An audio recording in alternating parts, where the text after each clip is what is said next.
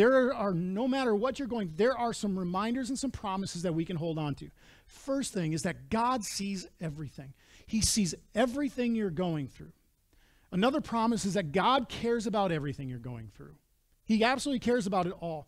And then God has the power to answer prayer and give you the strength to get through it.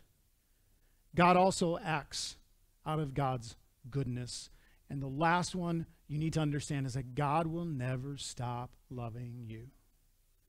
Those are promises we can hold on to.